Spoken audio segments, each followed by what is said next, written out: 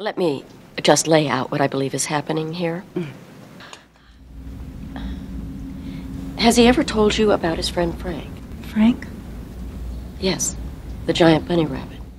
Donnie is experiencing what is commonly called a daylight hallucination.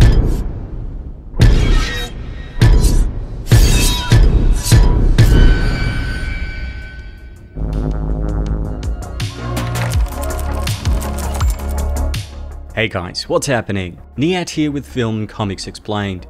Let's be honest, on first viewing, Donnie Darko is a baffling experience and one that confuses just as much as it delights. Supported by strong performances from Jake and Maggie Gyllenhaal, Noah Wyle, Drew Barrymore, Mary McDonnell, and the late Patrick Swayze. Richard Kelly's batshit crazy and incredibly cerebral directorial debut is a stunning piece of cinema that is impossible to fully understand without time to process its highly unusual structure and plot.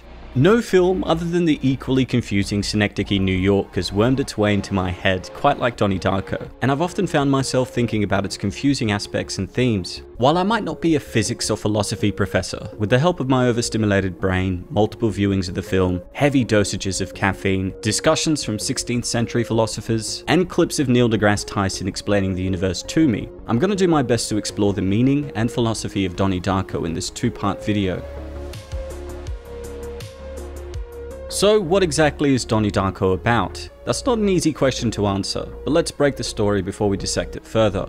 On the surface, Donnie Darko is a story about a wide-eyed, naive and neurotic high school teenager called Donnie who struggles to fit in with his surroundings. But beneath that is a complex discussion on free will, determinism, and the quest to understand our existential purpose. We meet Donnie on October 2nd, 1988, in the small town of Middlesex, as he wakes up on a road in the woods after sleepwalking. From the start, it becomes apparent that Donnie is troubled and often nowhere to be found. This prompts his family and friends to constantly ask, Where do you go at night?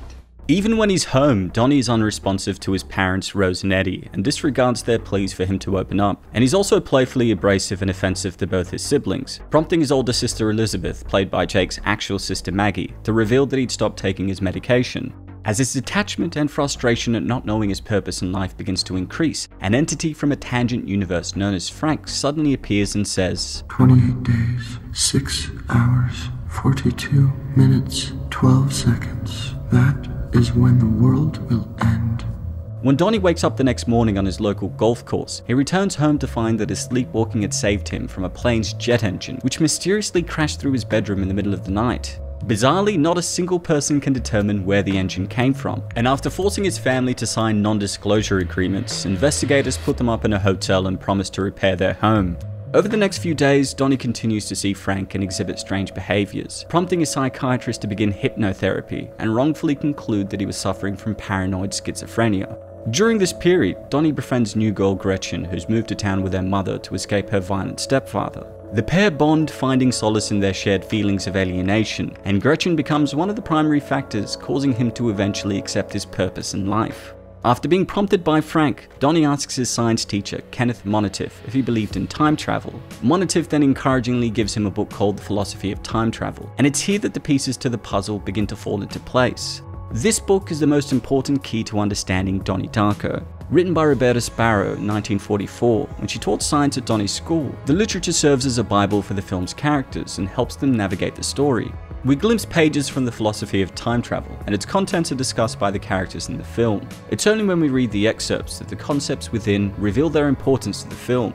One of the most important ideas of the book is the two dimensions of the film's story, which it refers to as the primary universe and the tangent universe. The primary universe is essentially the universe that Donnie usually lives in, whereas the tangent universe is a copy that forms due to a glitch in the fourth dimension of time that happens just prior to the jet engine crashing into Donnie's house. We never find out what caused this glitch, but what we do know for sure is that when Donnie is sleepwalking, he's actually traveling into this tangent universe. Which is why the correct answer to the question, where is Donnie, is that, depending on the time of day, he's either here or in the tangent universe. Later, after Frank has convinced him to set fire to the home of a motivational speaker with a dark secret, Donnie holds a Halloween party to celebrate his sister's acceptance into Harvard. Seeing more signs that indicated Frank's prophesized end of the world might be real, Donnie and Gretchen head to Roberta's home to unearth more information to see if there was a way to undo everything. Unfortunately, the pair are attacked by bullies moments before Gretchen is tragically struck by a car. As the driver hops out, we realize that he's in fact this universe's version of the Frank that had been communicating with him throughout the film. Using a gun that he found in the house earlier, the distraught Donnie shoots Frank and carries Gretchen's body to his home to find a vortex forming above them. Things then go from bad to worse when he sees the plane carrying his mother and sister in the distance get sucked into the vortex, moments before one of its engines plummets down from the clouds. The previous 28 days then rewind, and Donnie awakens back on the 2nd of October, laughing as the engine falls on him. The final shots of the film are taken up by those who've been touched by Donnie in the previous timeline, some of whom haven't even met him here, including Gretchen, who rides her bike past Donnie's house and exchanges a troubled glance with his mother, in these final moments, they both share a moment of deja vu, but are unable to place where they remember each other from. I know this is gonna sound kind of weird, but uh, do you do you know anything about uh, time travel? One of the first things we have to do to understand Donnie Darko is separate its surface story from the deeper meaning of what's going on. Yes, Donnie is mentally ill, but if you view Donnie Darko as a treatise on the delusions of a paranoid schizophrenic, then you're missing out on so much of the movie, as his visions are part of his ability to see into a parallel universe where time travel is achievable and doomsday is a distinct possibility.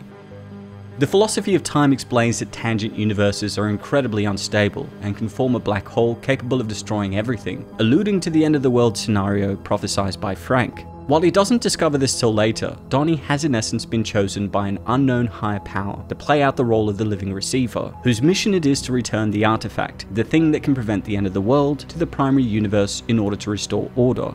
The book states that the living receiver is given fourth dimensional powers, including telekinesis, the ability to travel to alternate universes, enhanced strength, and mind control. But these come with a cost in the form of the hallucinations that manifest as symptoms of paranoid schizophrenia, and the inevitable sacrifice that Donnie has to pay.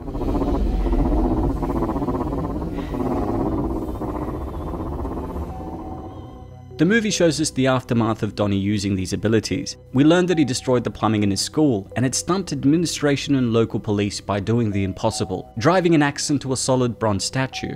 The artifact, as in the thing that can prevent the end of the world, is the engine that falls from the plane and crashes into Donnie's house, in the primary universe, the engine is attached to the plane and never comes free, while in the tangent universe, it falls from the plane and hits Donnie's house. It is this disparity, this creation of a copy that didn't belong, which creates the tangent universe in the first place, and only by returning the erroneous engine to the moment when it splits can disaster be averted. Here Donnie is left with a conundrum. He will save the world using his powers as a living receiver, but has no say in the matter. All he can do is accept his fate and see the beauty in his purpose to close the tangent universe and stop the life-destroying black hole. Of course, to get Donnie to close the tangent universe, a rather unusual sequence of events has to occur. Some might even say that they're too random to have any significance. But again, the philosophy of time travel explains how this happens. During the course of the film, Donnie is moved into place like a chess piece by those around him. The book calls these people the manipulated living, or dead if they're deceased. Every character he comes across pushes him closer to the goal of being in the right place at the right time to prevent the end of the world. From Sparrow, the old lady who wrote the philosophy of time travel, his science teacher Monnitoff, who gives him the book, Gretchen, who along with his family gives him a reason to sacrifice himself for the greater good, to Frank, both the dead one who guides him and the living one who kills Gretchen. Every person is a pawn in a game they don't understand, and whose sole mission is to allow Donnie to accept this purpose. Who guides them all is unknown, but the subtext and later interviews with Kelly suggest that some higher being is manipulating proceedings to prevent the end of the world. When Donnie returns to the primary universe, he laughs and accepts his death, knowing that he's acted as a divine vessel of a benevolent higher power and saved literally everything in existence. The Christ and superhero metaphor is obvious here, but beneath that is a deeper exploration of the human condition and the lingering existential questions of whether we have free will or if our path has already been chosen for us. Now that we understand what happens in the film, let's tackle its philosophy. How can you do that?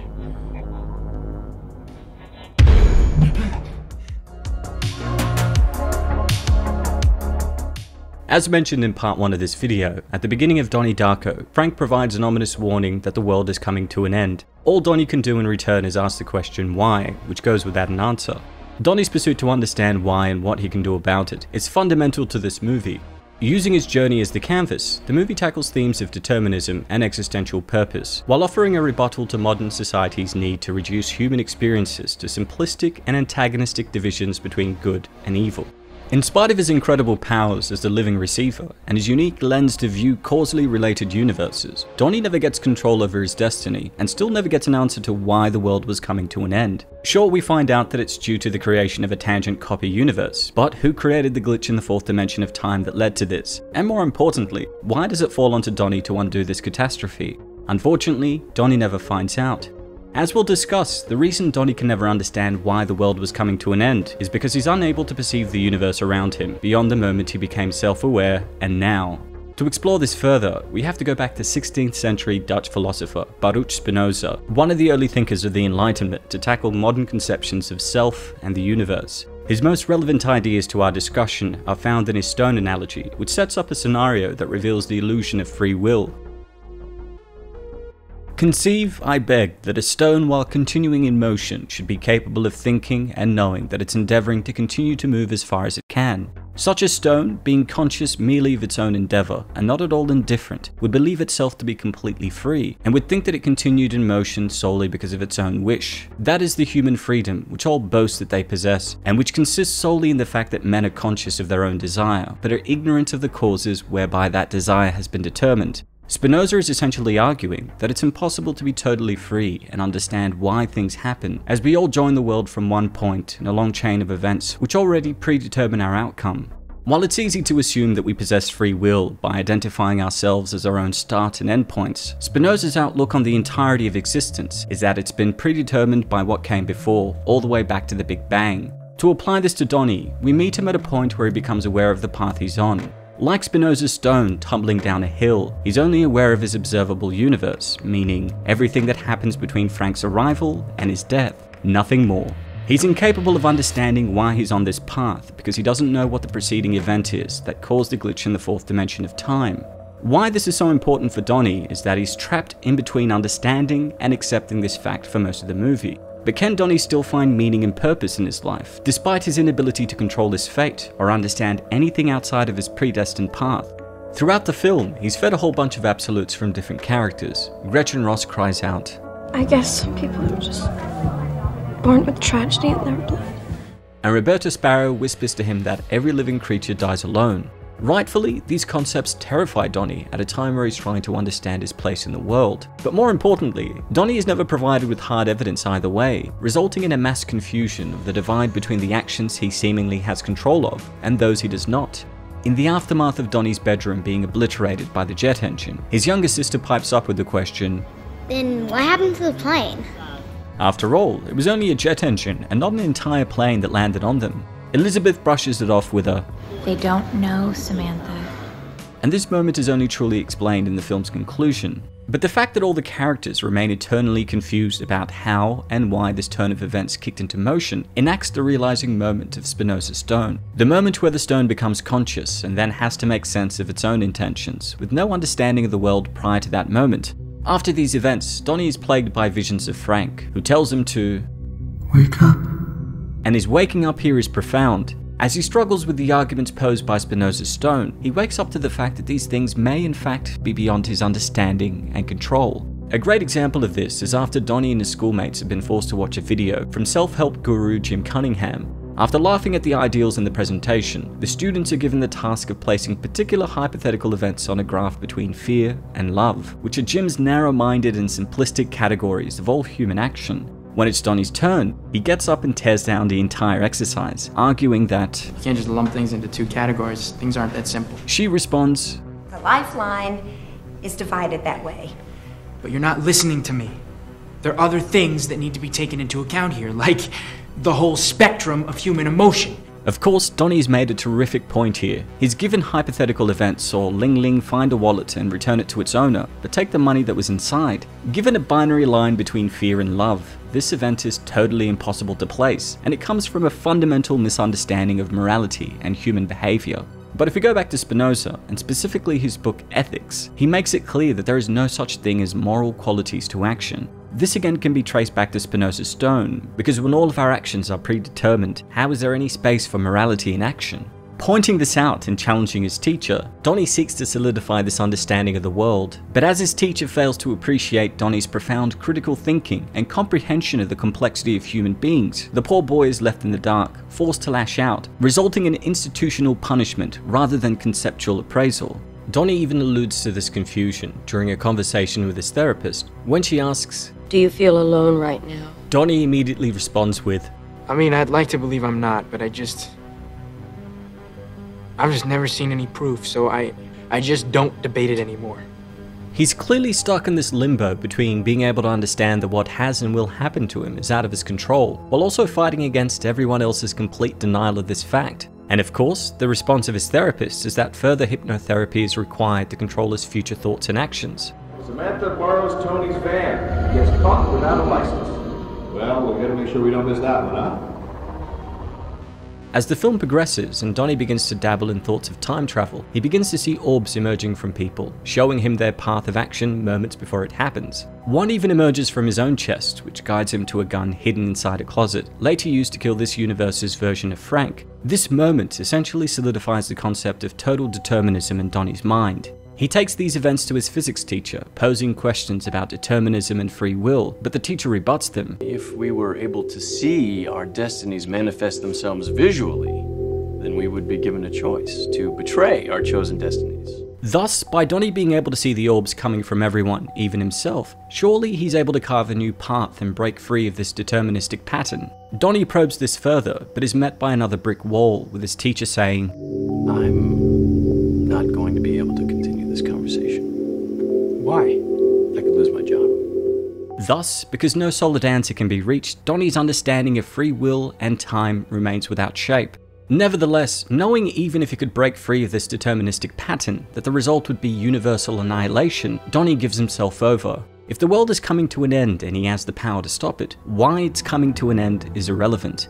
When Donnie is met with the big questions of why events unfolded in the way that they did for him, the film posits that the answer is unattainable and insignificant, at least for him and his limited field of view. From a cosmic perspective, the events that transpired are also neither good or bad. But just because he couldn't control his fate or understand it beyond knowing what was going to happen, it didn't mean his life didn't have purpose. And in Donnie's eyes, that's something to smile about. With that having been said, that's all for today, folks. Don't forget to hit subscribe and click the notification icon to stay up to date on all my content. And if there's anything else you'd like to request, please don't hesitate to ask. As always, it's been a pleasure. Niyat here with Film Comics Explained. Thanks for stopping by.